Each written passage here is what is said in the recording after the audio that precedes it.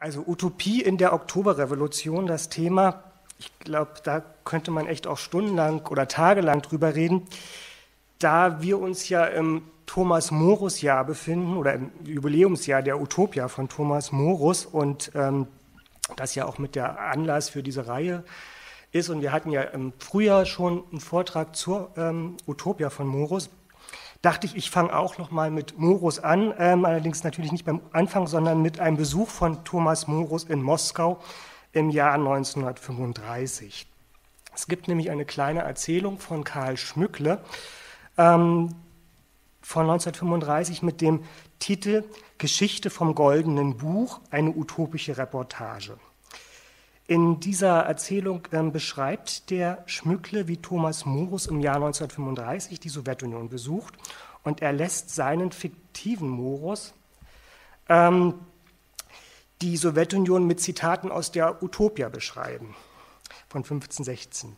Also Zitat ähm, des Erzählers, ich entdeckte zu meiner nicht geringen Freude und Ver äh, Verwunderung und Freude, dass die Worte, die Morus über die Einrichtung des ersten Sowjetstaates der Welt bei verschiedenen Gelegenheiten gesagt hat, hatte, in sehr vielen Fällen buchstäblich mit dem übereinstimmten, was in jenem goldenen Buch, also das ist die, die Utopia von Morus, seit mehr als 400 Jahren schwarz auf weiß zu lesen war.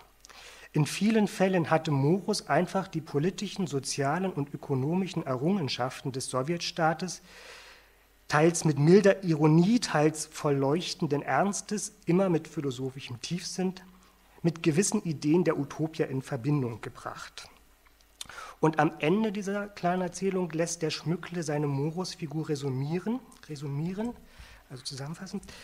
Ähm, als ich das Buch über die Insel Utopia und ihre harmonischen Einrichtungen schrieb, erzählte ich gleichsam einen künstlichen Traum und war voll Traurigkeit in meinem Herzen, wenn ich nachdachte, nachdachte, ob er denn zu verwirklichen wäre.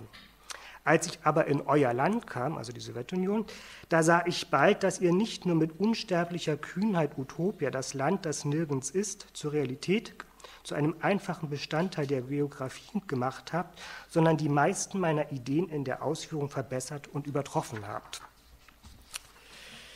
Der Schmückle macht dann nur eine kleine Einschränkung ähm, für die Utopia als Vorbild für die Sowjetunion. Er sagt nämlich, ähm, der Morus habe die Einführung des besten Gemeinwesens von der Zitat Weisheit und Güte eines Fürsten erwartet und nicht an die revolutionäre Kraft des Volkes gedacht. Ähm, das sei für Morus noch kein Thema gewesen. Und diesen historischen Irrtum der Utopie habe aber jetzt, sei eben mit der Verwirklichung des, des Sozialismus quasi aufgehoben worden. So. Die Sowjetunion als Utopia, wie es ja in dieser kleinen Erzählung quasi idealtypisch so beschrieben wird, das war ein relativ weit verbreitetes Bild damals in der Zeit. Also sozusagen nicht nur in der Selbstbeschreibung, sondern auch in der Sicht von außen. Also es gibt eine Reihe von Reiseberichten aus der Zeit, in der die, die Reisenden ähm, die Sowjetunion als Utopie oder als verwirklichte Utopie beschreiben, beziehungsweise darüber klagen, ähm, dass diese Utopien der Revolution eben noch nicht voll verwirklicht worden seien, sozusagen über das, ja, sozusagen das, das noch nicht eingelöste dieser Utopien dann in den 20er, 30er Jahren berichten. Also ich habe jetzt hier mal zwei Zitate, eins von Annemarie Schwarzenbach, die ähm, beim ersten Schriftstellerkongress 1934 war, ähm, und dann auch von Johannes Erbecher von 1942, ähm, wo die eben genau auf diesen Utopiegedanken kommen.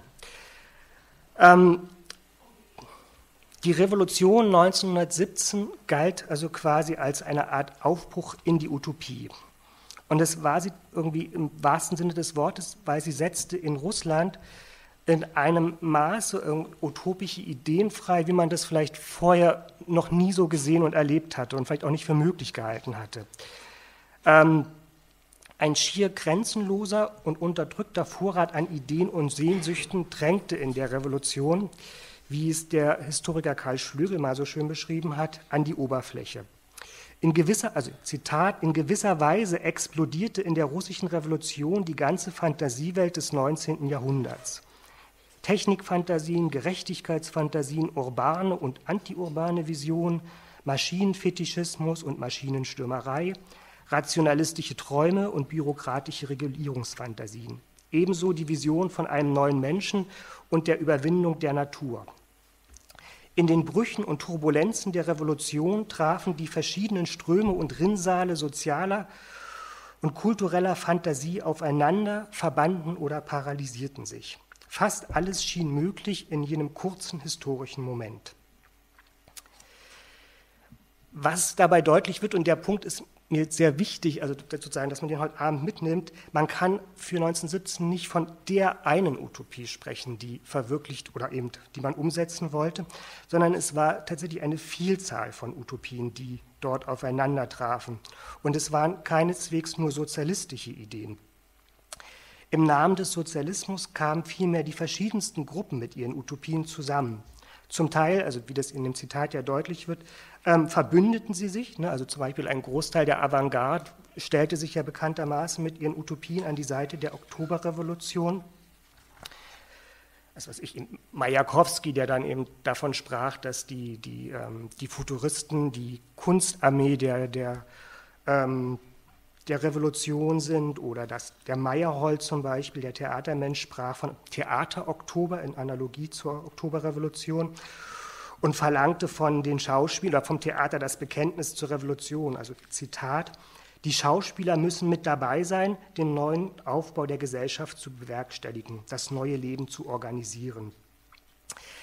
Allerdings muss man Ihnen sagen, dass bei diesen Bündnissen eben vielleicht auch oftmals mehr Illusionen oder Enttäusch oder sagen wir dann später Enttäuschungen im Spiel waren, ähm, weil relativ rasch zeigten sich dann, dann eben doch auch die Divergenzen bei dem Ganzen. Also zum Beispiel der Kasimir Malevich ähm, kritisierte die Bolschewiki, dass die mit ihrer Revolution nicht radikal genug seien.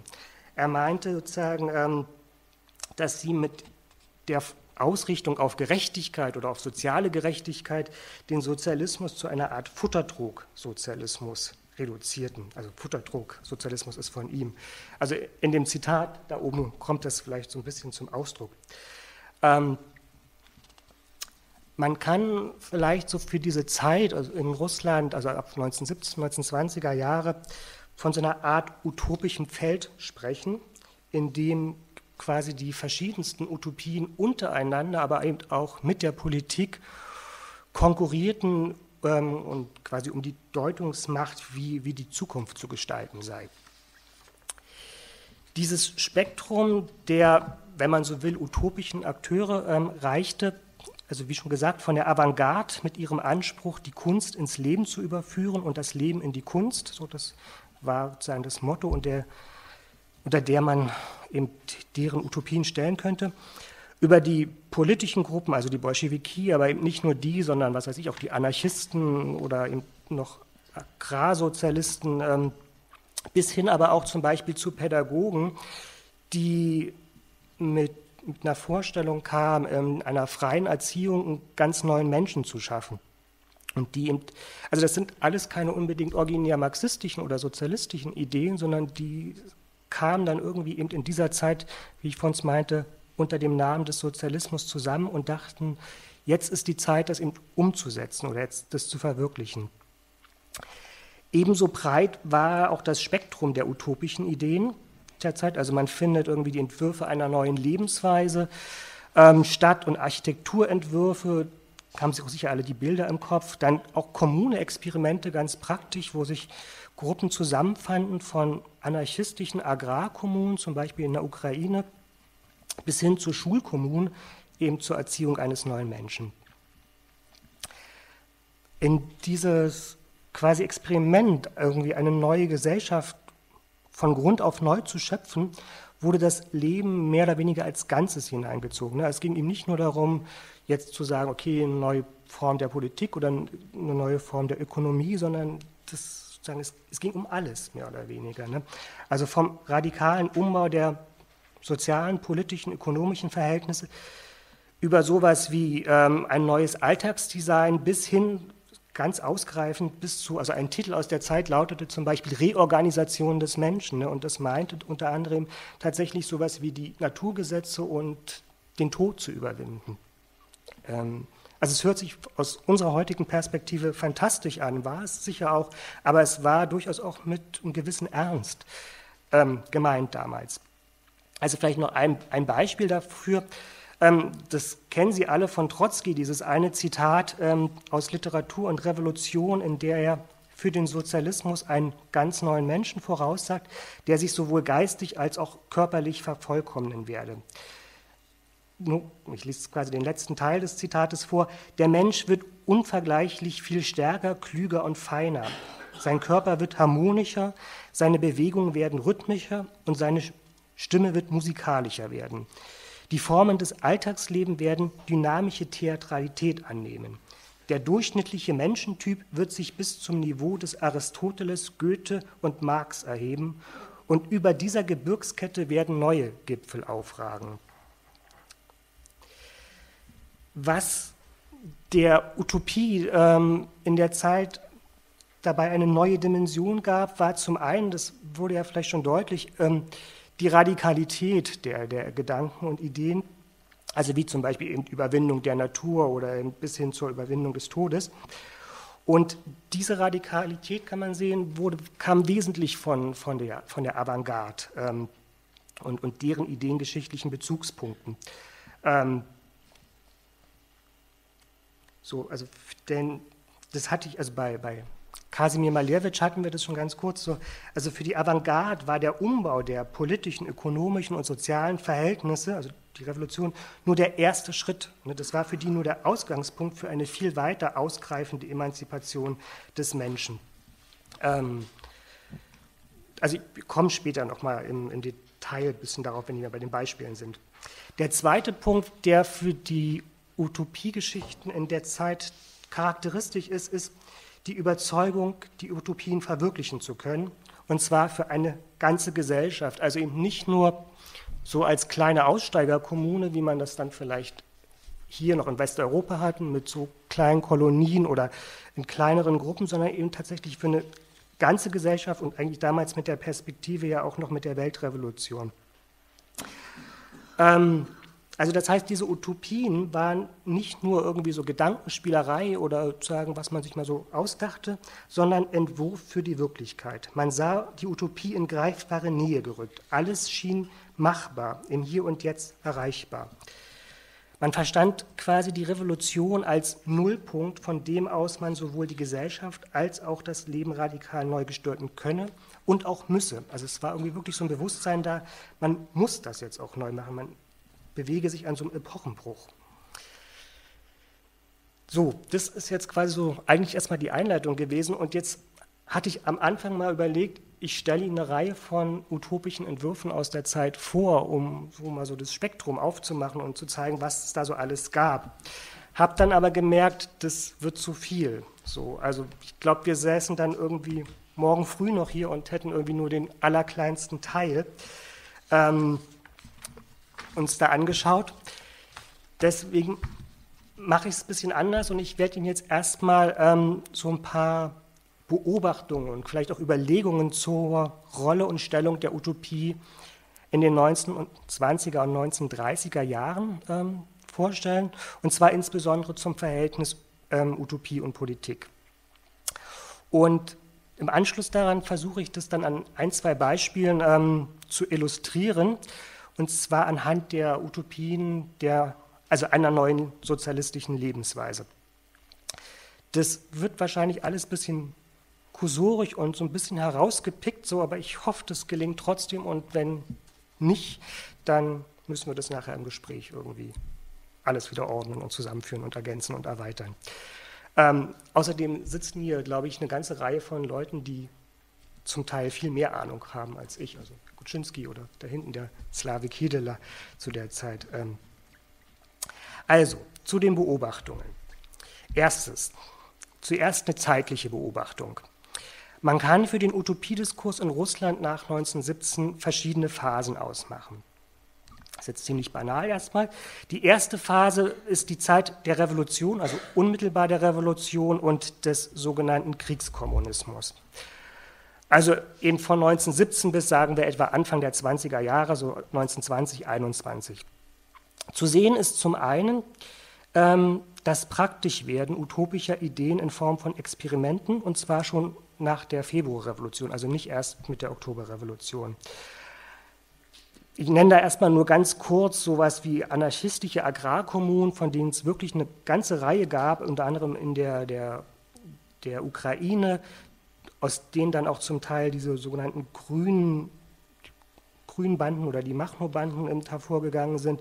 Ähm, dann auch Kommune-Experimente. Ähm, von den Pädagogen hatte ich vor uns schon gesprochen. Es gab tatsächlich eine Reihe von Projekten von Erziehungs- oder Schulkommunen in der Zeit. Ähm, und man könnte eigentlich auch tatsächlich schon Alexander Bogdanows Proletkultbewegung, die ja auch schon unmittelbar nach der Februarrevolution sich zu organisieren begann, ähm, hier auch mit nennen.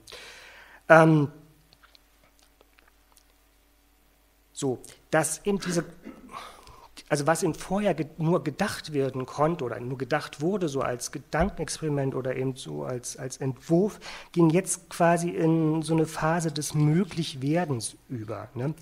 Und dieses Praktischwerden oder dieser Anspruch, jetzt in die Wirklichkeit zu drängen, das hat sicher auch etwas damit zu tun, mit so einer Art gesellschaftlichen Machtvakuum nach dem Zerfall der Autokratie, ähm, wo quasi die Verhältnisse gleichsam sich auf, also nicht nur auflösten, sondern flüssig wurden und, und vieles einfach möglich schien. So, und auch noch, und diese Utopien ist aber so eine Art Suchbewegung nach dem Neuen war. Also man könnte fast von so einer Art Anarchie der Utopie sprechen für diese Zeit.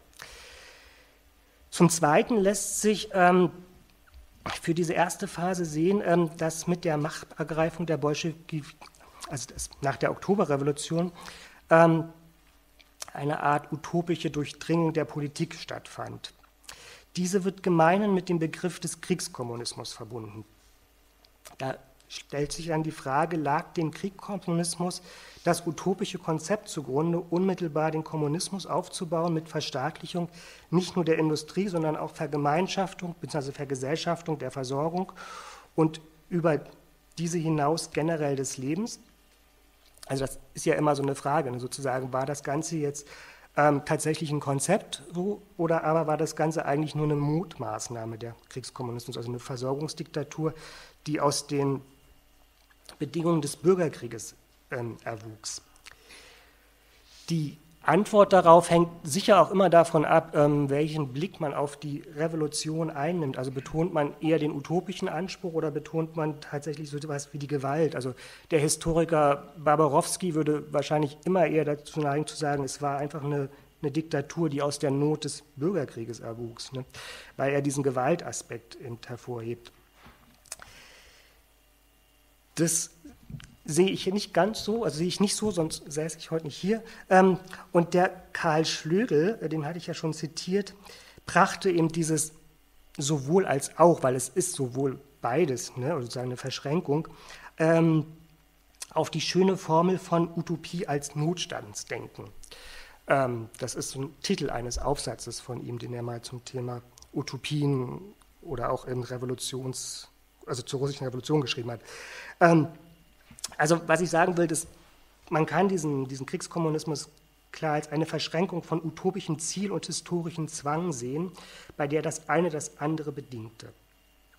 Dem kriegskommunistischen System der öffentlichen Versorgung lag sicherlich auch das Modell einer kommunistischen Versorgung zugrunde, in der Geld und Handel abgeschafft sind. Also das wäre die utopische Komponente. Man sieht zum Beispiel eben deutlich Bezüge ähm, von dem, was man damals diskutierte und auch zum Teil umsetzte zu, zu frühsozialistischen Vorstellungen, beispielsweise Ohn oder auch im Foyer oder Louis Blanc. Ähm, oder auch Bucharin und Preobrajensky ähm, beschreiben ja in ihrer ähm, Erläuterung des Parteiprogramms 1919, ABC des Kommunismus, eben das System, äh, sozusagen das, was man im Kriegskommunismus hatte, tatsächlich als eben ähm, das ein utopisches Projekt, ne, sozusagen, das nur durch die Not der Zeit ähm, noch nicht voll entfaltet werden konnte.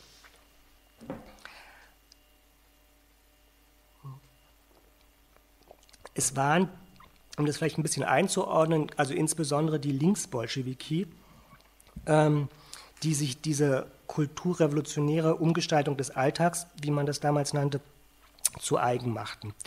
Ähm, und die eben in diesen öffentlichen Versorgungssystemen mit zum Beispiel den Konsumkommunen ähm, einen ersten Schritt dazu sahen. Ihnen ging es, also den Linksbolschewiki, darum, die Grundlagen, ähm, also dass die Politik die Grundlagen für eine Vergemeinschaftung der Lebensweise schafft. Ja, also ähm, hier mal ein Zitat von Alexandra Kollontai ähm, aus der Zeit. Die Planung des kommunistischen Alltags ist genauso wichtig wie die Planung der Produktion. Wir müssen schrittweise, aber zielbewusst das Fundament für eine kollektive Lebensweise legen. Ähm, worum es denen damit ging, war eben zu sagen, dass es eben nicht allein mit Verstaatlichung der, der Produktion ähm, zu, getan ist oder mit der Eroberung der politischen Macht, sondern dass man tatsächlich auch eben eine völlig neue Form des Lebens und des, des Alltags ähm, entwickeln müsse, um den Sozialismus aufzubauen. Also eben äh, eine geistige und kulturelle Revolution müsse eben der politischen und ökonomischen an die Seite treten. Ähm,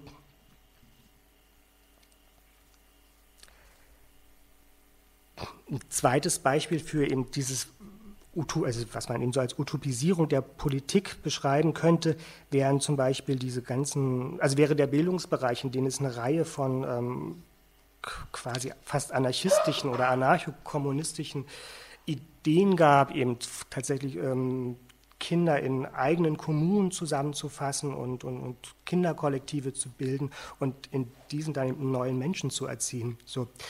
Ähm, oder ein ein zweiter Bereich ist sicher auch dann nochmal gerade die Kulturpolitik, ähm, in der dann die Avantgarde ja aktiv wurde. Ähm, das so dann so, das wäre sozusagen etwa die erste Phase, ähm, von der ich sagen würde, was man dort oder was in das Kennzeichen ist, ist in dieses Utopisierung der Politik. Ne? Also dass die Politik ganz stark von der Utopie eigentlich geprägt und ähm, getrieben ist. Mit der, Ökonomie, der sogenannten neuen ökonomischen Politik 1921 kam es zur ersten Zäsur für die Utopie. Mit ihr wurde diese Utopisierung der Politik, also wie ich sie jetzt gerade ganz kurz skizziert habe, ähm, zurückgenommen. Gegen die Haltung, die Utopie unmittelbar als politisches Programm zu nehmen, wurde mit der NEP ähm, gewissermaßen eine Politik gesetzt, die sich ähm, an dem politisch Machbaren orientierte, an den politischen Gegebenheiten und sagte sozusagen, diese ganzen ausgreifenden ähm, Utopien überfordern eigentlich uns im politischen Handeln. A, weil wir es nicht finanzieren können, B, weil die Menschen noch nicht so weit sind und weil wir damit dann eigentlich die Macht gefährden, die wir gerade errungen haben. So. Ähm, also bekanntermaßen wurde ja dann mit der neuen ökonomischen Politik das kriegskommunistische Versorgungssystem wieder abgeschafft, ähm, privater Handel und privates Unternehmertum wieder zugelassen. Ein Großteil der Bestrebungen im Sozial- und auch Bildungsbereich, die von der Erwartung bestimmt waren, unmittelbar den Sozialismus aufzubauen, wurden jetzt als linksradikale Übertreibungen kritisiert und ebenfalls abgebrochen. Von vielen wurde daher ähm, in der Zeit die, die NEP als eine Art Verrat an der Utopie ähm, empfunden, beziehungsweise ein Verrat an der Revolution empfunden, also als ein Schritt zurück. Ähm, das wird ein Punkt sein, auf den wir nochmal zurückkommen. Ähm, die NEP führte so für die Utopie zu einer Art gespaltenen Situation in der Zeit. Also auf der einen Seite war es eben für die Politik eine Rücknahme der Utopie und auf der anderen Seite blieb aber gerade im Bereich der Kunst oder auch der Architektur der utopische die utopische Energie im vollen Maße erhalten und ungebrochen. Deren utopischer Elan richtete sich jetzt allerdings vor allem gegen die Tendenzen der, der NEP, sich quasi in einer bourgeoisen äh, Existenz einzurichten und gegen die, wie man es sagte, Bürokratisierung der Revolution. Also Beispiele wären zum Beispiel wieder Majakowski mit seinen Komödien oder auch Nikolai Erdmann mit seiner äußerst charmanten, heiteren Komödie, das Mandat, wer das kennt. Ähm, ähm, dann kam im Jahr Ende der 20er Jahre die ersten fünf Jahrpläne ähm, und mit denen kam es wieder zu einer Art neuen utopischen Aufschwung ähm, im Bereich der Politik. Also man entdeckte die Utopie auch seitens der Politik wieder, jedoch mit einer Art charakteristischen Verschiebung. Ähm, die Utopie wurde jetzt auf die Industrialisierungspolitik der Fünf-Jahr-Pläne ausgerichtet. Das heißt, diese ganzen radikalen, emanzipativen und auch aufklärischen und zum Teil auch sehr anarchistischen Ansätze der, der ersten Phase, unmittelbar nach der Revolution, wurden gleichsam abgeknipst. Also das Wilde und das, also wie gesagt, anarchistische und zum Teil fast karnevaleske irgendwie, was diese utopischen Entwürfe der Revolutionszeit geprägt hatte, das verschwand jetzt endgültig. Die fünf Jahrpläne bedeuteten gewissermaßen eine Art Disziplinierung der Utopie, so könnte man es vielleicht zusammenfassen. An die Stelle von Aufklärung und Emanzipation ähm, trat die Festigung und Repräsentation, vor allem von Macht. Also in der Familienpolitik zeigte sich das unter anderem daher, darin, dass man zur Kleinfamilie, also zur patriarchalischen Kleinfamilie zurückkehrte, während man ja in der ersten Phase ähm, ganz stark eine Politik auch betrieben hatte, eben sozusagen die, die bürgerliche Familie zu überwinden und aufzulösen und auch eine, eine neue ähm, Form von Erziehung, antiautoritäre Erziehung zu etablieren. Ähm, ebenso geriet ja bekanntermaßen dann auch die Avantgarde mit ihren utopischen Ansätzen einer neuen Kunst, eines neuen Lebens und auch eines neuen Menschen ähm, zunehmend unter Druck. Dieses Verschwinden der Utopien oder auch Verflüchtigen wurde auch von außen sehr aufmerksam registriert. Also Wilhelm Reich zum Beispiel, der in den 1930er Jahren die Sowjetunion besuchte, beschreibt den Umschlag in der Familien- und Bildungspolitik als Abbau der emanzipativen Erziehungsideale der Revolutionszeit und als Rückkehr zur autoritären Erziehung und beklagt es entsprechend. Ebenso konstatieren zum Beispiel Walter Benjamin und Josef Roth, die in 1926, 1927 die Sowjetunion besuchten, das Verdrängen der Avantgarde und das Erlöschen der Revolution. Ähm, also Zitat Josef Roth, wenn ich ein Buch über Russland schreiben würde, so müsste es die erloschene Revolution darstellen, einen Brand, der ausglüht, glimmende Überreste und sehr viel Feuerwehr. Die Brandfackeln der Revolution sind ausgelöscht. Und weiter, die proletarische Revolution ist nur eine halbe Revolution. Vielleicht führt sie sogar zum klassenlosen Staat, aber sie führt nicht zum freien Menschen. Nur eine geistig fundierte Revolution ist die echte.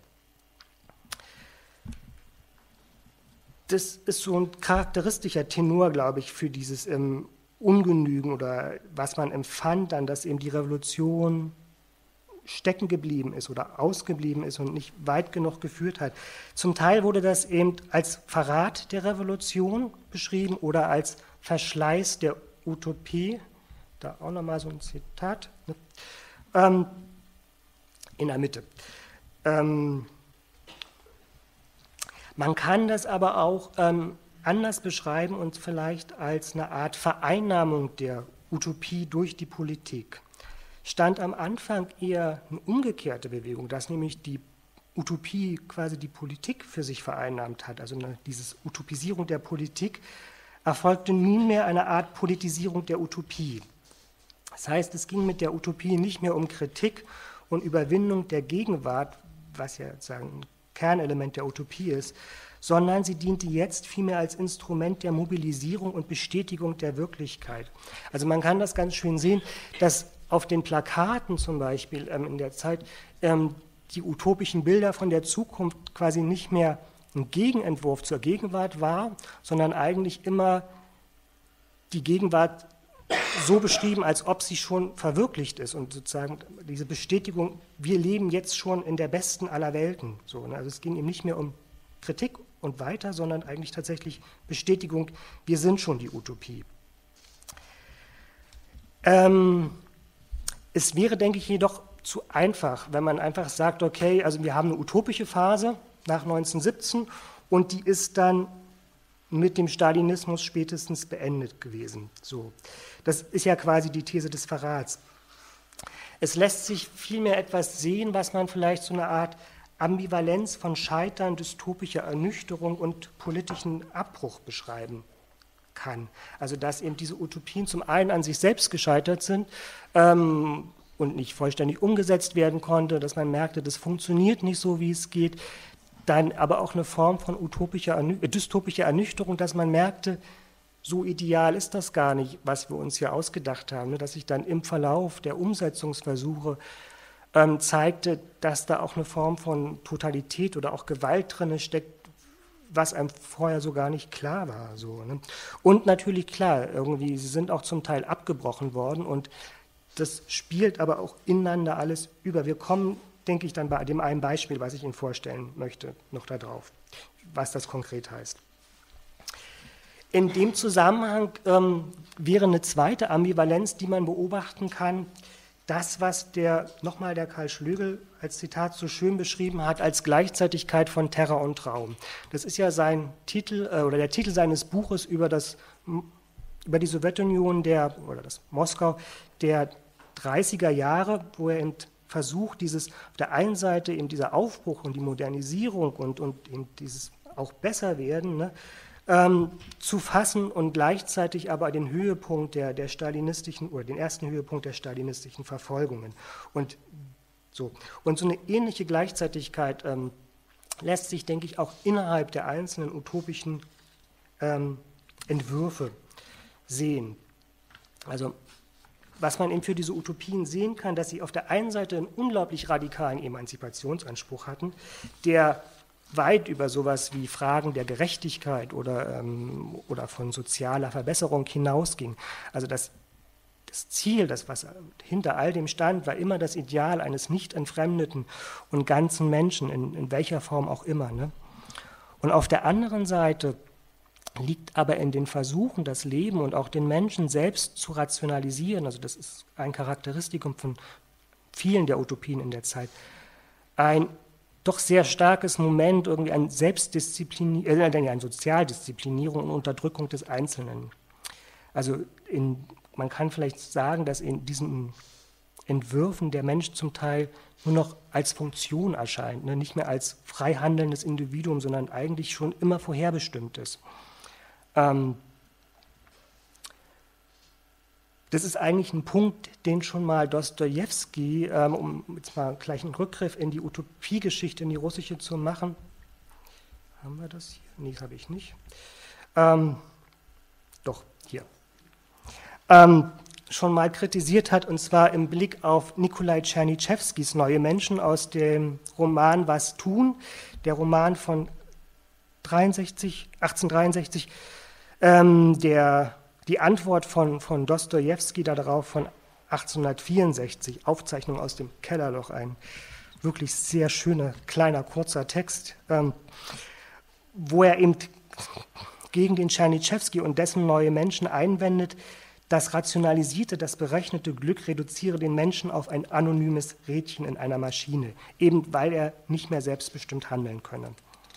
Und der Richard Sage, der ja viel, ähm, also zu Utopien gearbeitet und geforscht hat, hat das oder hat diesen Punkt ja beschrieben dahingehend, ähm, dass es quasi so eine Art dialektischen Umschlag gibt, wo diese ganzen Ordnungsfantasien der, der, ähm, der Utopie, ähm, wie wir sie kennen, in dystopische Zwangswelten umschlagen, eben weil plötzlich ähm, diese Ordnung nicht mehr von oben besichtigt wird, in der sich das alles irgendwie schön und harmonisch zeigt, sondern aus der Sicht des Einzelnen und dann tritt eben hervor ähm, oder wird ihm deutlich, was auch für so ein totalitäres Potenzial in solchen Ordnungsvorstellungen für den Einzelnen stecken kann. Als letzte Beobachtung ähm, nur, der, nur, als Hinweis jetzt, dass es schon frühzeitig in der Zeit ähm, utopische Gegenstimmen gegen diese ganzen utopischen Entwürfe gab, die diese Utopien der Revolution einer kritischen Revision unterzogen und auf die dystopischen Ernüchterungen ähm, dieser Ideale eben hinwiesen oder eben das eben auch herausarbeiteten. Also ich nenne jetzt einfach mal nur zwei, die sicher irgendwie die meisten kennen. So einmal Jewgeni Samyatins Dystopie Wir von 1920 und auch Alexander Tschajanows ähm, utopischer Roman Reise meines Bruders Alexei ins Land der bäuerlichen Utopie, ebenfalls von 1920. Ähm, oder ähm, was man auch mit dazu zählen könnte, wäre beispielsweise Andrei Platonows Roman Chevengur, den sicher auch viele kennen. Ähm, also für mich ist es irgendwie einer der ganz großen Romane über die Utopie und deren tragisches Scheitern eigentlich. Ne? Der wird ja jetzt ein bisschen auch, also quasi wiederentdeckt, der Platonow so. Also es gibt, oder jetzt zur Buchmesse ist eine Neuübersetzung ähm, eines anderen Romans von ihm erschienen. Und ähm, du hattest mir heute noch den Hinweis geschickt, dass es im Herbst auch irgendwie eine große Veranstaltungsserie zu Platonow und seinen, seinen Sachen gibt. So. Ähm, also, Sagen Sie bitte nochmal den Titel ähm, von diesem Roman. Platon, äh, Chevin Gur heißt der. Ich schreibe es nachher nochmal auf. Mhm. So.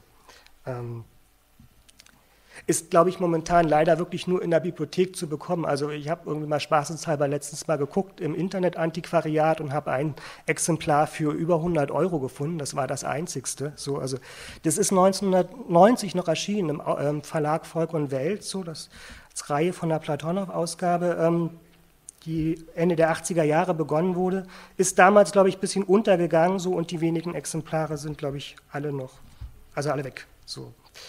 Ähm, und ist seitdem nicht wieder aufgelegt worden, aber vielleicht nächstes Jahr zum im Jubiläumsjahr der Revolution vielleicht. Ähm, haben Sie noch Geduld für, für, für ein Ex also okay, dann komme ich vielleicht doch noch zum Beispiel. Ähm, wo waren wir? Ja. Ähm, also als Beispiel ähm, für, für, diese Beobachtung wollte ich Ihnen jetzt, habe ich mir eins rausgegriffen. Also wie gesagt, es ist unglaublich schwer eigentlich aus, diesem, aus dieser Vielfalt was rauszusuchen, weil die auch alle ja zum Teil ganz unterschiedlich sind.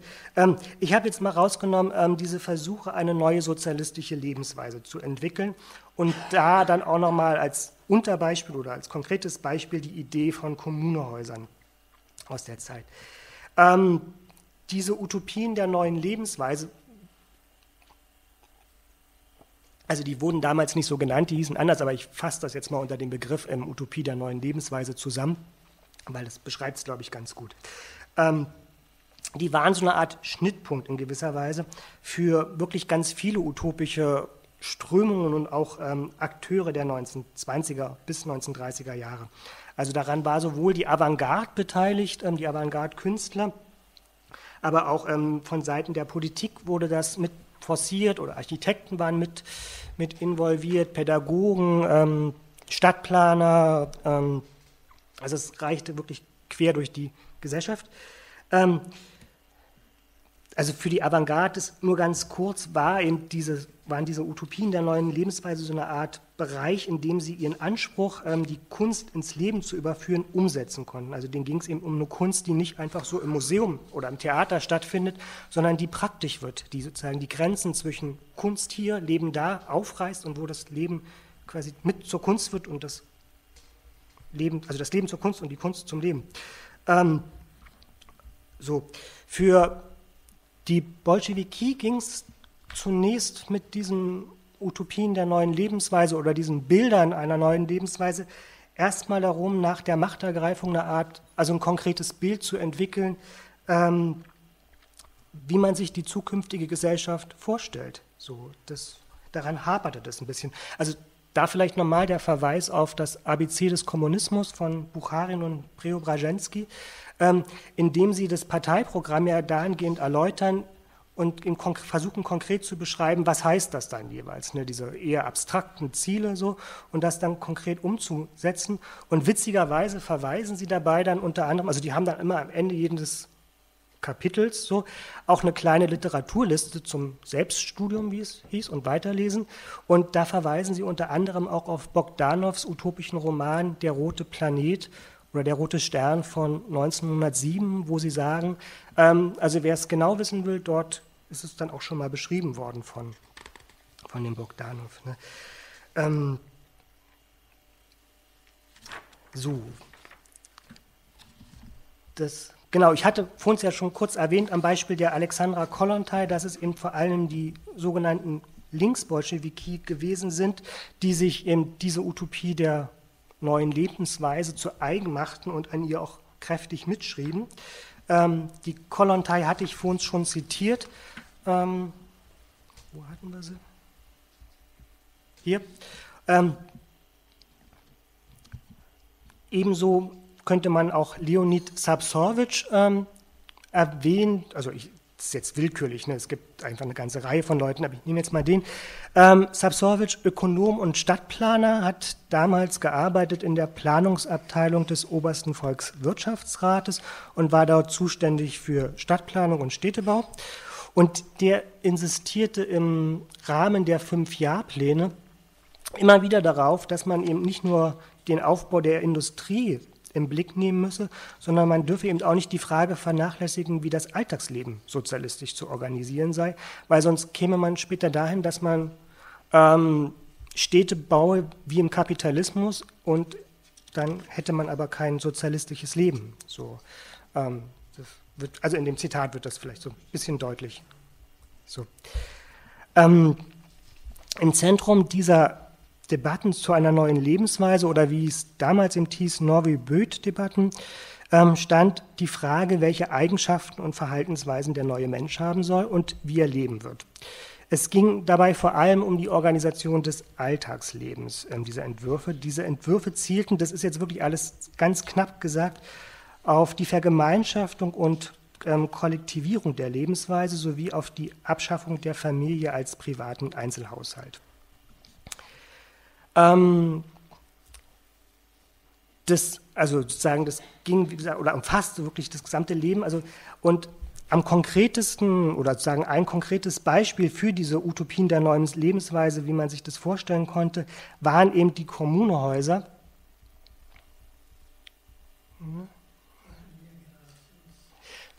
Ja, genau. So. Ähm,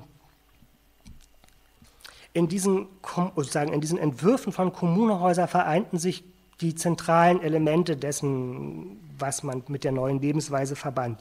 Zum einen der Entwurf eines neuen Menschen, die Verkollektivierung des Lebens, die Emanzipation der Frau, die Aufhebung des privaten Einzelhaushaltes, ähm, das Ziel neuer Geschlechterbeziehungen, sozusagen neue Formen von Kindererziehung. Also all das lässt sich irgendwie an diesen Kommunehäusern eigentlich ablesen. In gewisser Weise kann man sogar sagen, dass das Kommunehaus in der Zeit so eine Art Symbol für das neue Leben gewesen ist. Ne? Ähm, also es war irgendwie ein Standardtopos in den damaligen Debatten, das immer wieder zitiert worden ist. Ähm, und gleichzeitig wies man ähm, dem Kommunehaus auch so eine Art Erziehungsfunktion zu, dass man eben sagte, seine Struktur soll das Alltagsleben so organisieren, dass es eben den neuen Menschen hervorbringt. Ähm, also wie gesagt, dieses Kommunehaus ähm, beherrschte ähm, die, die Stadtplanungs- und Architekturdebatten der 20er und 30er Jahre. Ähm, also zum Beispiel sind ja Anfang der 30er Jahre auch irgendwie Bauhausarchitekten mit in die Sowjetunion gegangen, also Ernst May aus Frankfurt mit seiner Brigade. Und der beschreibt in seinen Aufzeichnungen und auch in seinen Briefen, ähm, kann man das schön nachvollziehen, dass auch für ihn tatsächlich noch der Bau von Kommunehäusern mit als Aufgabe stand. Also er schreibt sozusagen, Auftrag für uns war, die Städte so zu planen, dass 50 Prozent der Wohnungen in Kommunehäuser sind. So. Ähm, das waren also wie gesagt nicht nur spinnerte Ideen, sondern ähm, das war irgendwie weit verbreitet. Ähm, es ist allerdings, obwohl das so beherrschend war, fast gar, also sehr, sehr wenig Kommunehäuser dann wirklich gebaut worden. Also man kann die mehr oder weniger an wenigen Händen abzählen, was realisiert worden ist. Ähm, und was gebaut worden ist, sozusagen, also, die, also die Zählungen sind unterschiedlich. Es gibt welche, die sagen, wenn man es ganz streng nimmt, sind eigentlich nur rund ein Dutzend gebaut worden. Andere fassen es ein bisschen weiter und zählen zum Beispiel auch in Studentenwohnheime aus der Zeit mit dazu. Ähm, die kommen dann auf, auf 30, 40 oder noch mehr Kommunehäuser. Ähm, aber sozusagen in dem Bereich, in den Zahlen bewegt sich das dann. Ne? Also es wurde jetzt nicht die ganzen neuen Städte in dem Stil gebaut. Ähm, Vielleicht ganz kurz zu diesen Kommunenhäusern. Also in der Regel waren die, so die gebaut worden, für etwa 100 bis 150 Personen konzipiert. Und ähm, gebaut wurden sie im Auftrag von Genossenschaften oder im, auch im Auftrag von Verbänden und Institutionen. Also zum Beispiel hat der oder ein Schriftstellerverband ähm, in Leningrad für seine Mitglieder so ein Haus, ähm, so ein Kommunehaus gebaut, hatte auch den hübschen Titel Haus der neuen Lebensweise. 19, ähm, ähm, ja, um 1930 ist das gebaut worden. Oder ein anderes bekanntes Beispiel, oder vielleicht sogar das bekannteste Beispiel, ist das Haus des ähm, russischen Finanzministeriums ähm, in Moskau, das sogenannte Narkomfin-Haus, 1928 gebaut. Das, dazu komme ich dann gleich nochmal konkreter, ne? also das würde ich dann gerne als Beispiel vorstellen. Ähm, vielleicht sozusagen bei diesen Kommunehäusern, das sieht man hier schon bei diesem Bild vom, von diesem Nahkampfhaus, es hat sich relativ rasch so eine typische Grundform bei den Entwürfen herausgebildet. Und zwar war das in der Regel ein Ensemble aus, einem, aus mehreren Gebäuden. Es gab ein Gebäude ähm, für, für Wohnungen, also der Wohnungsteil war, das ist hier der große Teil, und dann ein extra Gebäude mit den Gemeinschaftseinrichtungen, in der dann in der Regel eine Cafeteria mit Speisesaal war, ein Waschsalon, Bibliothek, Clubräume, und dann mitunter auch weitere Sport- und Freizeiträume. Also für einige Häuser war bis hin zu Kino und Schwimmbad ähm, vorgesehen gewesen. Es gibt auch Entwürfe, die für Kinder einen eigenen, also einen eigenen Gebäudetrakt vorsehen, in dem die Kinder getrennt von den Eltern untergebracht sind ähm, und so quasi eigenen Erziehungskommunen leben. Ähm, auch da nochmal ein Zitat ja, von Sapsowitsch. Ähm, ähm, als Wohnungen, oder also Wohnungen jetzt in Anführungsstrichen, war in diesen Kommunenhäusern in der Regel ein Zimmer mit Bad vorgesehen. In den radikalen Entwürfen war dieses Zimmer auch nur ein ganz kleines Schlafzimmer mit Bettschrank, Tisch und Stuhl. Ähm, die gemäßigteren Varianten, die noch ein eigenes Familienleben einplanten, da hatten dann die Wohnungen zum Teil auch mehrere Zimmer noch die Zimmer hatten oder die Wohnungen hatten keine Küche. Ne, also sozusagen die Küche sollte ja abgeschafft werden und als Gemeinschaftsküche fungieren. Ähm, also es gab dann allenfalls eine kleine Kochnische. Und man sprach damals oder man entwarf verschiedene Typen von Häusern. Einmal sozusagen ähm, Kommunehäuser, die für den Übergang geplant waren, sogenannte Übergangshäuser, ähm, und Häuser, die schon für den mehr oder weniger vollendeten neuen Menschen entworfen waren mit vollständiger Vergemeinschaftung. Das, und da unterscheiden sich dann natürlich dann auch jeweils die Entwürfe in diesem Punkt der Vergemeinschaftung. Das, wie gesagt, eines der bekanntesten Beispiele für ein Kommunehaus ist dieses Haus, das Nahkomfinhaus in Moskau, 1928 bis 30 gebaut. Es steht noch, ähm, ähm, es sieht heute so aus. Also es ist ziemlich heruntergekommen. Und es gibt auch eine Reihe von Bestrebungen, dieses Haus ähm, wieder zu, zu rekonstruieren und einer neuen Bestimmung zuzuführen, die aber moment, bislang, glaube ich, alle noch nicht zum Ergebnis geführt haben. Das Einzige, was momentan zu sehen ist, dass das Haus, also dass die Jugend oder die Partyszene hat das Haus für sich wieder entdeckt zum Teil. Und auf der Dach, also es ist ein Bild, das habe ich im Internet gefunden, fand ich sehr hübsch, ähm, dass auf dem Dach des Hauses mittlerweile eine, so eine Art Dachbar ist. So, ähm, also kennt man ja auch hier.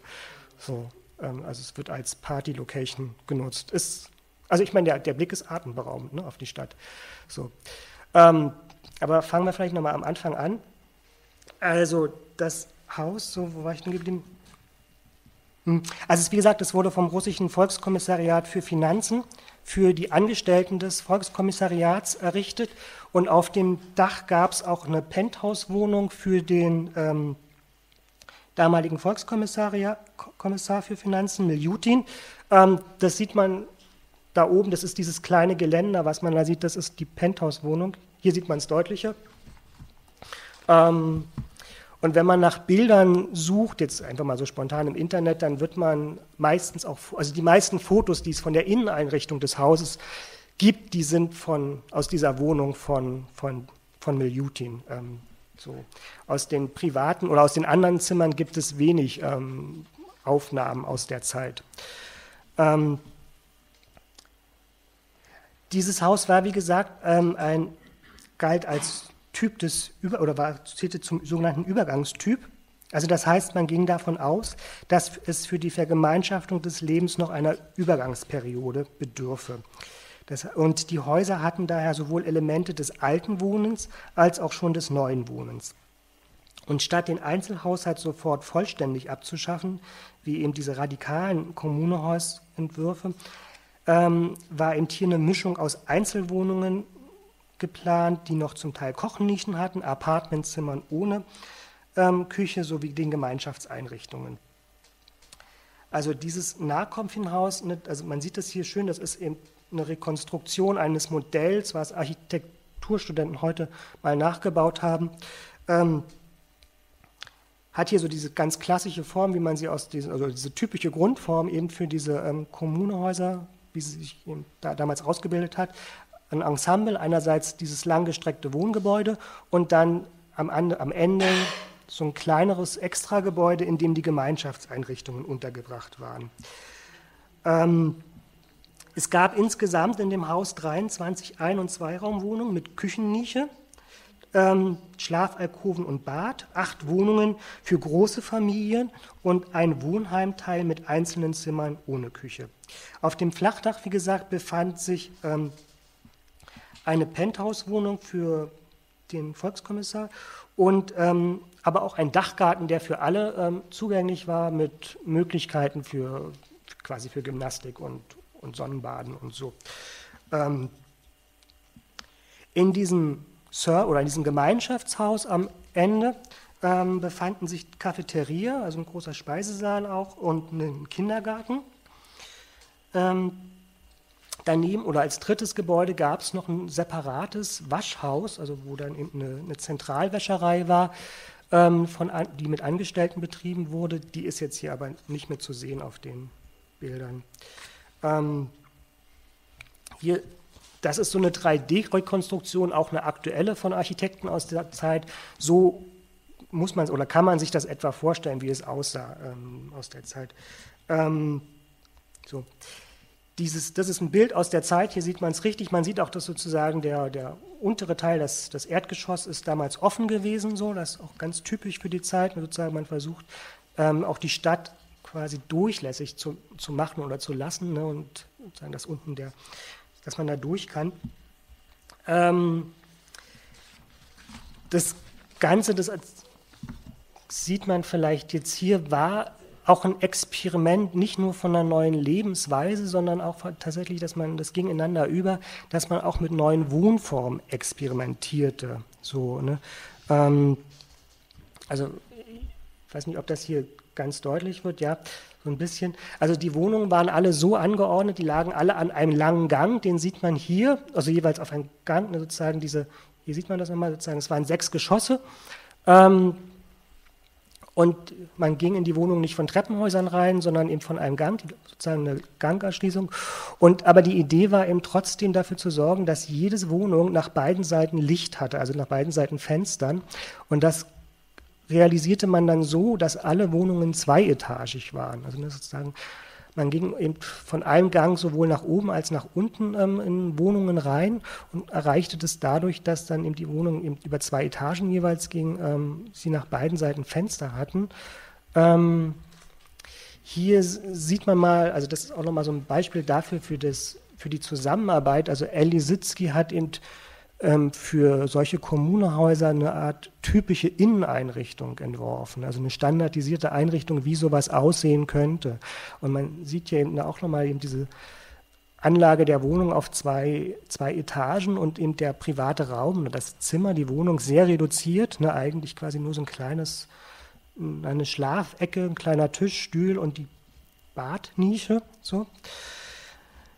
Ähm, und wenn man eben so berichten, das auch mal einen Blick aus, also quasi in den Gemeinschafts, in den Gemeinschaftsbau, ähm, mit, wo eben auch dann sowohl Speisesaal war, auch als Arbeitsräume gewesen, so gemeinsame.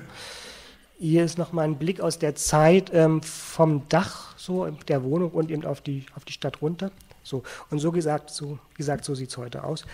Ähm, wenn man so den Erinnerungen oder Berichten von damaligen Bewohnern glaubt, ähm, hat das Haus in der ersten Zeit mit seinen Gemeinschaftseinrichtungen auch ganz gut funktioniert. Also es gab, wie gesagt, einen Kindergarten, eine zentrale Wäscherei und eine, ähm, eine Cafeteria, in, oder was heißt Cafeteria, eine, eine, eine, quasi eine Art Kantine, würde man vielleicht sagen.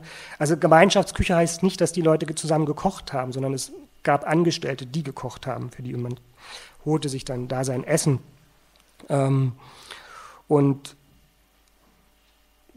man konnte dann eben, wie gesagt, in dem Speisesaal in mit, oder in dem Speisesaal gemeinsam essen oder aber man konnte auch das Essen mit in seine Zimmer nehmen und dann dort essen. Und wie gesagt, so Berichte aus der Zeit ähm, legen nahe, dass das eben, wie gesagt, auch ganz gut funktionierte.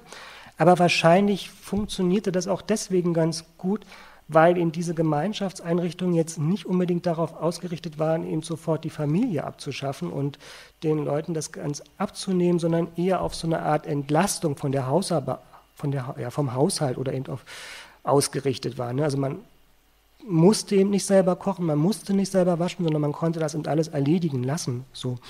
Ähm, deswegen hat es eben wahrscheinlich auch funktioniert. So. Ähm, oder es gibt eben auch Berichte aus einigen wenigen anderen Häusern, Kommunehäusern, die es eben gab, wo das ähnlich ist. Also diejenigen, die eben eher so tatsächlich auf sowas wie Entlastung ausgerichtet waren, dort funktionierte das auch mit diesen Gemeinschaftsteil und wurde angenommen. Ähm, in dem, Im Zweiten Weltkrieg ähm, wurde dann wurden die Gemeinschaftseinrichtungen geschlossen oder ein Teil der Bewohner wurde ja auch evakuiert, beziehungsweise war im Krieg. Ähm, und ähm, also man, na, man sieht es hier nicht ganz auf dem, auf, dem, auf dem Bild, weil die Autos davor stehen. Ähm, das Erdgeschoss wurde später umgebaut und also zugemauert, da kamen dann Lagerräume rein ähm, und auch Büros und, und Läden und sowas. Ähm, und auch die Wohnungen wurden dann, also wie gesagt, die, die Gemeinschaftseinrichtungen wurden geschlossen ähm, und in die Wohnungen wurden dann später in den 60er, 70er Jahren, die wurden dann alle umgebaut ähm, und da kam dann zum Teil auch, also überall noch eine eigene Kochnische rein. Also diese Idee des Gemeinschaftshauses ist dann eben später komplett zurückgenommen worden und es ist dann doch eigentlich ein Wohnhaus, ein normales Wohnhaus geworden, was allerdings bei Weitem nicht so gut funktioniert wie ein Wohnhaus, weil es ja eigentlich nicht darauf ausgerichtet war. Ne? Sozusagen die Wohnungen waren ja, oder die Zimmer waren ja auf eben ein gemeinschaftliches Wohnen hin ausgerichtet. Ähm, zwei Beispiele, oder ja, zwei Beisp drei Beispiele möchte ich Ihnen noch zeigen. Zum einen ein ähm, Beispiel für die für ein sogenanntes vollendetes Kommunehaus mit sehr radikalen Vorstellungen, und zwar von dem schon genannten Leonid Zapsowitsch, der sich vorstellte, sozusagen sofort und maximal das Leben zu vergemeinschaften oder eigentlich nicht nur zu vergemeinschaften, sondern wirklich zu einem kollektiven Leben umzugestalten. Er sah zum Beispiel in sein, also sein Kommunehaus war viel größer, der plante das für etwa 2.000 bis 3.000 Personen. Ähm, war das ausgelegt. Ähm, und er sah zum Beispiel in seinem Kommunehaus nur noch, also als privates Zimmer oder als Zimmer für den Einzelnen, nur noch so ein kleines Zimmerchen vor, also auch standardisiert eingerichtet, wie man das hier sieht.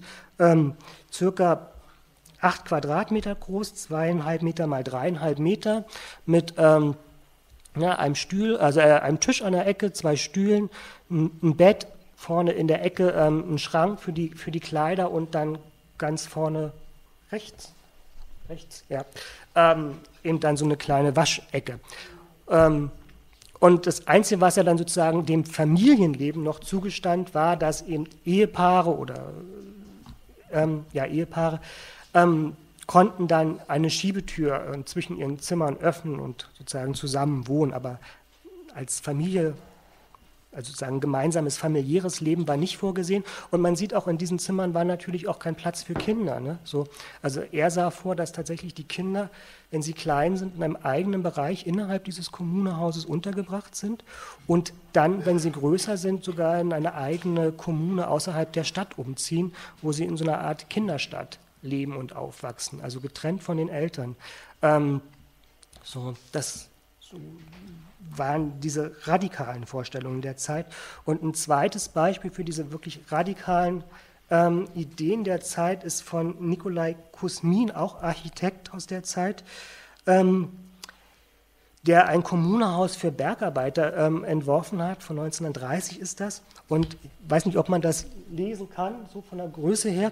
Er entwarf ihm nicht nur so ein Haus, sondern er entwarf auch gleichzeitig dazu noch so eine Art, also idealtypischen Tagesablauf, so, wo er wirklich bis auf die Minute durchgeplant hat, ähm, wie, also wie das Leben sich, wie das Leben ablaufen soll. So, ähm, so also das ist quasi fast sozusagen so eine Art also die Übertragung eigentlich des, des Fließbandes oder des Taylorismus aus der Produktion auf die Organisation des Lebens. So. Ähm, Wobei er sozusagen auf einen Punkt möchte ich vielleicht neckigerweise hinweisen, das fand ich wirklich sehr, also bezeichnend, wie präzise die natürlich auch gedacht haben. Ne? Man sieht hier an einer Stelle, ähm, wenn die Bergarbeiter von der Arbeit zurückkommen, ähm, sind acht Minuten Händewaschen eingeplant. Ne? Sozusagen, das ist natürlich eine Sache. Acht Minuten als Bergarbeiter ist klar, ne? sozusagen, man muss den Dreck loswerden. So, ne? ähm, so, aber solche Beispiele, also sowohl das von dem, dem Sapsorovic als auch von dem Kosmin, das sind natürlich die Extrembeispiele und von, also sowas ist auch alles nur Idee und ähm, Entwurf geblieben, das ist nicht gebaut worden, sowas. Ne? Also es gibt einige Studentenwohnheime aus der Zeit in Moskau, Leningrad und auch in anderen Großstädten, ähm, die in die Richtung gehen, also jetzt nicht mit einem Tagesablauf natürlich, aber sozusagen Studentenwohnheime sehen auch heute nicht viel anders aus. Also das ist vielleicht auch eine andere Kategorie, das kann man in dem Sinne, glaube ich, jetzt nicht unbedingt zusammenlesen. Und ein letztes Beispiel für diese Kommunehausgeschichten und wirklich für sowas wie, also wie wild eigentlich auch diese utopischen Ideen in der Zeit waren, ist dieser Entwurf von Georgi Krutikow, ähm, Stadt der Zukunft, ähm, ist seine Diplomarbeit ähm, an den Kunsthochschulen 1928, Krutikow auch Architekt, so und das war ähm, die Aufgabe des ja, das, also für, dieses, für das ganze Seminar, die Abschlussaufgabe, also die Aufgabe für die Abschlussarbeit war gewesen, die Stadt, eine Stadt der Zukunft zu entwerfen.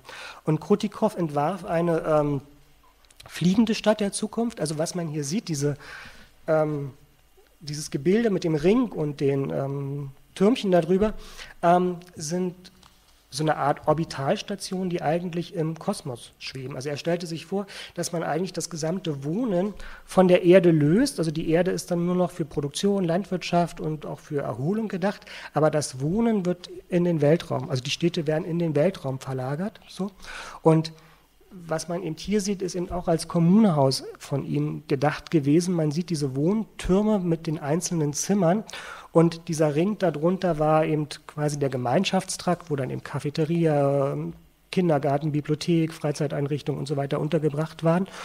Und er treibt eigentlich das, was man hier von dem Zimmer gesehen hat, also denkt er in eine ganz andere Richtung weiter, ähm, dass er nämlich das so plante, dass diese Zimmer ähm, also er macht die mobil, er löst die, löst die auf, sozusagen wandelt es quasi eine Art, also er nennt das Wohnkabine als Universaltransportmittel. Ähm, was man jetzt hier eben nicht sieht, aber in der Beschreibung ähm, seiner Arbeit lesen kann, ist, dass er sich vorstellte, dass das eben so kleine Kabinen waren, die so auch mit Wandschränken ausgestattet waren und solchen Sachen, wo die Leute in ihre Sachen unterbracht und das war eben quasi sozusagen als das private Zimmer gedacht und man konnte damit eben von Stadt zu Stadt fliegen. Ähm, und in diesen Wohntürmen, man sieht es vielleicht ein bisschen da, ähm, so hier, ne? Ähm, das waren quasi sozusagen so eben Parkbuchten oder Boxen, wo dann eben die einzelnen Leute mit ihren Wohnkabinen ähm, andocken konnten und dann lebte man eben eine Zeit lang in der Stadt und wenn man dann weiter wollte, zog man in die nächste. Also das nur noch mal irgendwie so als, weil wir, da ich es ja vor uns auch gesagt hatte, dass man eben irgendwie auch wirklich an sowas dachte wie Überwindung der Schwerkraft, Überwindung der, ähm, der Naturgesetze und Eroberung des Kosmos bis ähm, hin zu sowas wie Überwindung des Todes. Das gehört natürlich mit dazu, ne, dass man tatsächlich, also sozusagen, das ist auch nicht einfach nur Fantasie von ihm, ne, sondern das war auch real gedacht und auch wirklich mit, mit Energieberechnungen unterlegt, so, dass man dachte, okay, mit, mit der Eroberung von Atom oder Einsatz von Atomkraft ähm, kann man solche Städte auch bauen, ne, und dass man sagte, es muss um sowas wie die ähm, Besiedlung des Kosmos gehen. Und das zeigt dann vielleicht auch nochmal irgendwie, dass sozusagen diese Ideen eben nicht allein aus sowas wie sozialistischer Bewegung oder eben marxistischen Überlegungen herauskam, sondern dass so diese Radikalität oder auch sozusagen diese Bildlichkeit von bestimmten Entwürfen sich aus ganz anderen ähm, Kontexten oder auch Quellen speisten, so die man im Einzelnen vielleicht nach sich mal anschauen müsste. Ähm, ja, ich glaube, jetzt habe ich lange genug geredet. Ne? So. Ach so, nee, ein was, ach, jetzt hätte ich fast meinen mein Schluss, mein Schluss vergessen. Ähm, so, also nach all diesen ganzen wunderbaren, also ich finde es ja unglaublich, also ich finde ja diesen Entwurf, muss ich sagen, unglaublich charmant, ne, sozusagen, es ist für mich ja sozusagen, also es ist ja nicht der einzigste, also es gibt ja auch von, von, von Malevich eben solche fliegenden ähm, Stadtentwürfe, also diese sogenannten Planeten, ähm, die, die von einer ähnlichen ähm, Faszination sind.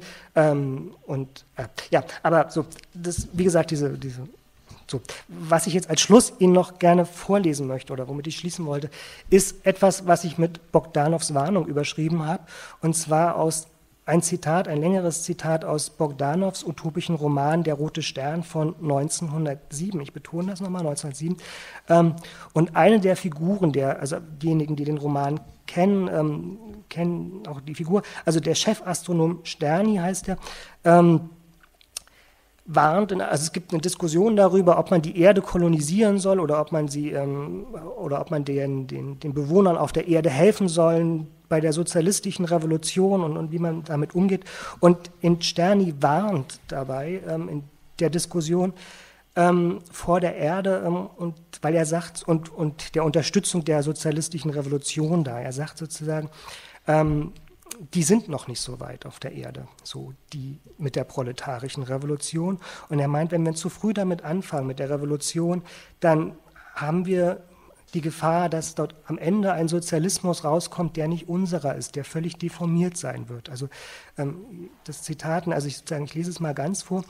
Ähm, nicht eine, sondern viele Revolutionen sind vorhersehbar. In den verschiedenen Ländern zu unterschiedlicher Zeit in vielen werden sie einander wahrscheinlich nicht gleichen und die Hauptsache, ihr Ausgang ist zweifelhaft. Die herrschenden Klassen, die sich auf die Armee und die hochentwickelte Kriegstechnik stützen, könnten in manchen Fällen dem aufständischen Proletariat eine solche vernichtende Niederlage zufügen, dass der Kampf für den Sozialismus in mehreren Staaten um Jahrzehnte zurückgeworfen wird dann werden einzelne fortgeschrittene Länder, in denen der Sozialismus gesiegt hat, zu Inseln, inmitten einer kapitalistischen und teilweise sogar vorkapitalistischen Welt. Die herrschenden Klassen der nicht-sozialistischen Länder werden alles versuchen, um diese Inseln zu zerstören. Sie werden ständig kriegerische Überfälle organisieren und unter den ehemaligen großen und kleinen Besitzenden in den sozialistischen Ländern genügend Verbündete finden, die zu jedem Verrat bereit sind. Das Ergebnis solcher Zusammenstöße ist schwer vorherzusagen. Aber selbst dort, wo der Sozialismus als Sieger hervorgeht, wird sein Charakter nach den vielen Jahren des Belagerungszustandes, nach dem unvermeidlichen Terror und dem Militarismus stark und für lange Zeit verzerrt sein. Es wird bei weitem nicht unserer Sozialismus sein.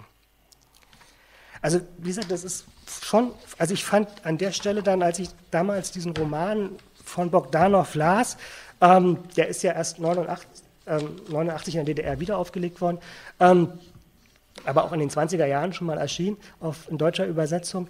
Ähm, fand ich das unglaublich prophetisch eigentlich, wie, wie, also wie er das vorausgesagt hat, ne? sozusagen diese Deformation des Sozialismus aus diesem Belagerungszustand heraus. Aber das vielleicht nur sozusagen nur als irgendwie als ja, Ende zu, zu den ganzen utopischen Ideen und was sowas daraus endet. Ja.